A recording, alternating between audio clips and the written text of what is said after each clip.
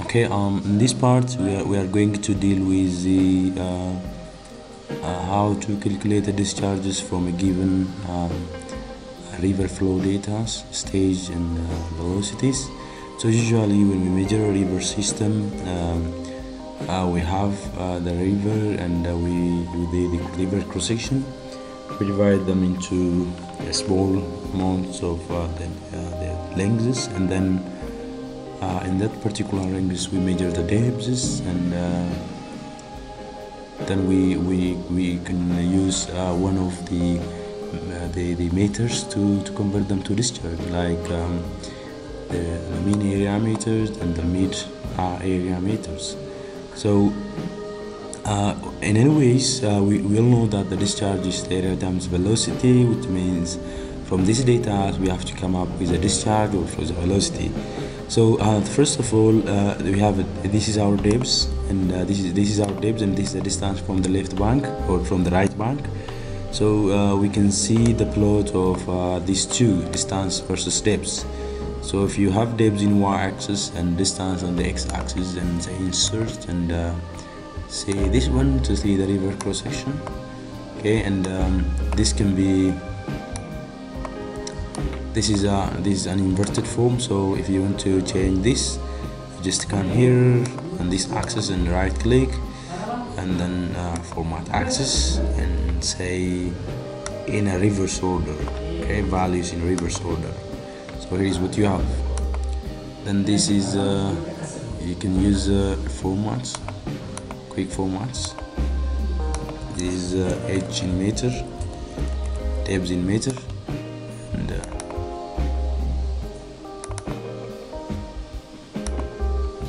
this is depth in meter then and this is going to be the distance from left bank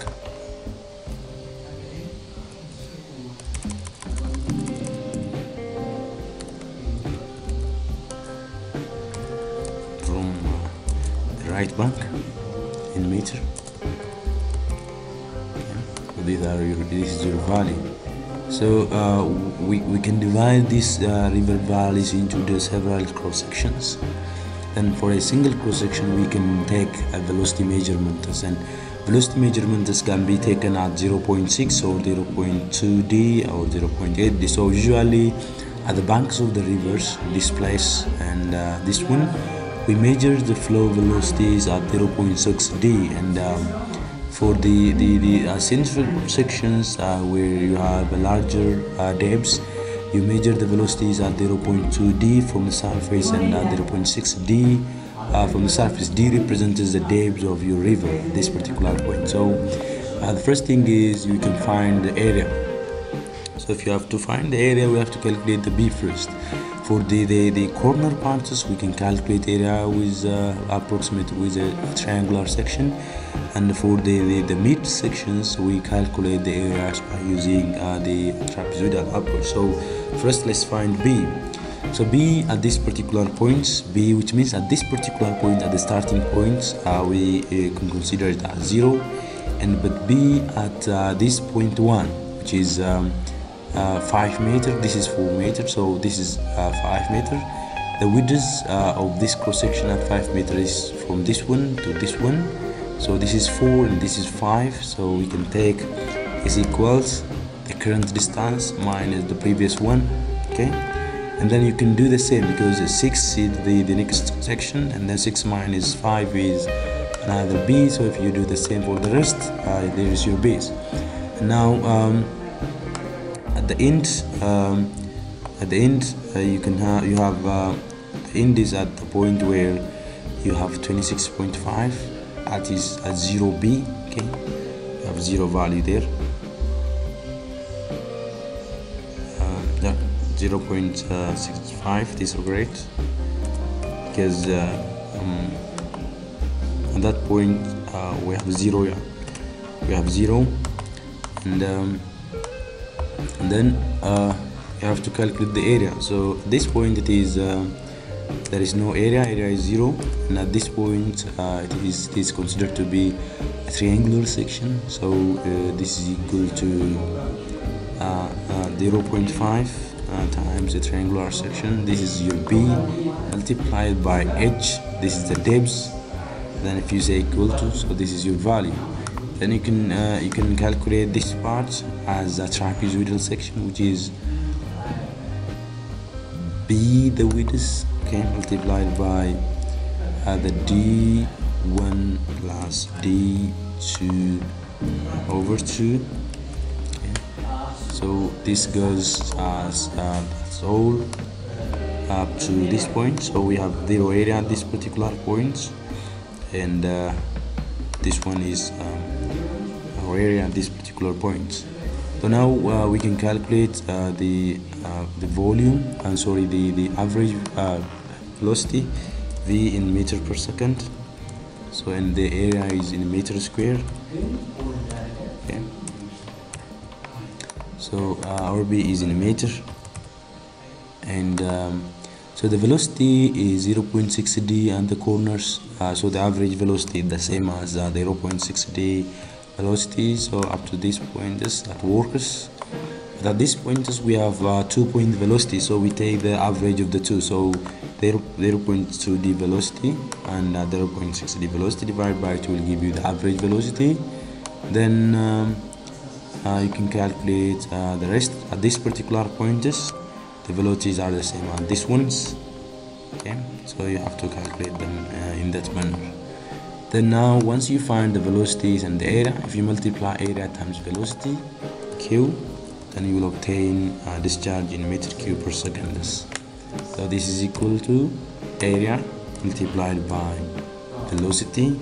Is equal to uh, uh, this one. So if you want to find out the total discharge that is passing through a cross section you have to take the summation. So if you take sum and uh, this value means is the amount of discharge passing through your, through your cross section at an instant time. Okay so if you want to see the velocity distribution uh, you can take uh, the distance from left banks or the right banks as uh, the x-axis uh, and um, the velocity as the y-axis okay? And uh, if you insert a graph and uh, curve it like this you can see the velocity distribution through the cross section. So at the corners we have zero velocities. At the middle you have a very large velocity that reaches to 0.3 meter per second. And uh, you can do the same if you want to see the, the, the amount of discharge passing through a cross section. So here is your distance from left bank and uh, here is your uh, your discharge um, calculate the discharge. And then you can say insert see the curve. And this is the discharge uh, the, by, by volume. So at the center you have like uh, more than 0.5 uh, meter cube per second. So with that you can see the discharge distributions also okay this is how, how we can uh, calculate discharges by using the midsection method. And um, the other thing uh, we can see here is uh, the area elevation curve how to develop the area elevation curve. So um, usually this is uh, the elevation um, uh, this is the area. Area at, at a given uh, stage. This is this is usually be computed by um, um, by planimetry so and this is uh, the respective storage values. So if you want to draw uh, the area elevation curve we can use you simply read um, volume and area with respect to certain elevation uh, you can first draw your area um, your elevation as x and uh, your area uh, as y. This is the first one so plot this curve. This is what you have. And uh, add another data over here okay? Again and add it uh, with x as um, an elevation again. Uh, because the elevation is a common value for both storage and area then as a y value you have to input the storage. And then you can see uh, both both data here. So you have to change uh, one one y-axis uh, uh, in order to have the the nice shape of the flow uh, the elevation um, the, the storage area. So right click on this axis. And then uh, uh, format axis. uh, then uh, you go to uh, values in reverse order for one. Okay sorry the uh, you, you have to you have to go to the axis option first and right you have to go to the um, format axis and uh, the primary sorry you have to select this one first and uh, this one uh, primary axis. And then uh, this one uh, should be format axis. And then values in reverse order. Then uh, you can minimize this value or you can fix the, the, the, the, minimum value to the like um, 1000 for example. Then you will have your curve like this so um, here is your curve and uh, you can have a quick layout. Okay. so uh, this is uh, this is uh, the elevation area curve. This one is you can see that here. And uh, this one is uh, the elevation volume curve. Okay this is how we develop this one